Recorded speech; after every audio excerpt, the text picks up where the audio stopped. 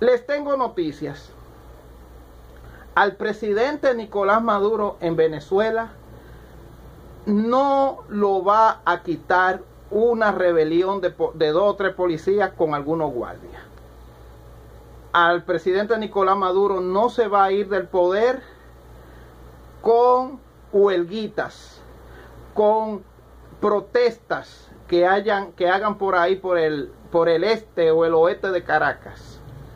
Al presidente Nicolás Maduro no se va a ir del poder porque falte agua, porque haya problemas con la electricidad, porque no haya dinero, porque no haya comida. No, al presidente Nicolás Maduro tampoco lo van a quitar de ahí porque hayan problemas administrativos en las dependencias del Estado para la expedición de cédula, pasaporte, hasta de nacimiento, etcétera. No, a él no lo van a quitar por eso. Al presidente Nicolás Maduro tampoco se va a ir del poder por causa de las sanciones económicas y la llamada guerra económica. No, nada de eso. Tampoco Maduro se va a ir del poder porque eh, un tal Juan Guaidó montó un gobierno paralelo e ilegal y lo llame a él ilegítimo. No, tampoco se va a ir por ahí. No, señores, el, presidente Nicolás Maduro, nada de eso va a hacer que lo quiten del poder. No. Ustedes saben qué es lo que le va qué, con qué que el presidente Nicolás Maduro se va a ir disque del poder. Y no por vía violenta, sino por la vía electoral. Un hombre que ya ha ganado tres o cuatro elecciones.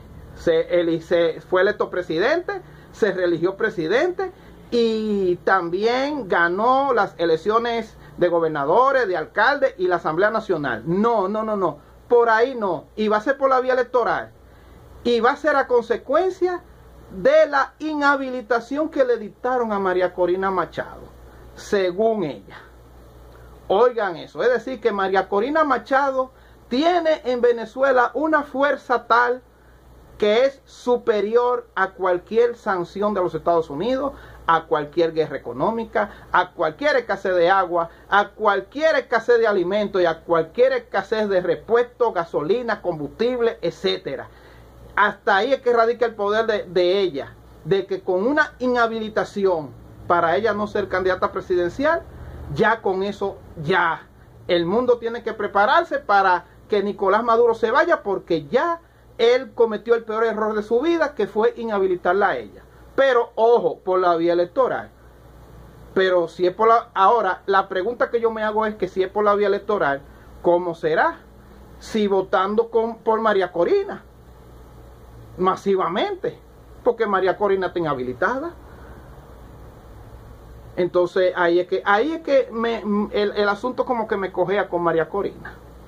Bueno, pero veremos a ver en qué va a terminar esta nueva, este nuevo capítulo de lo que yo he denominado la farándula política venezolana. Ahora con el can, el show, el circo de la inhabilitación de María Corina Machado, que según ella, esta inhabilitación ha sido el peor error del presidente Nicolás Maduro. Y que ahora sí es verdad que se va ahí, porque fue a ella que le tocó ahora y que ella es la matatana, la dura de Venezuela. Bueno, cosa de la vida, señores.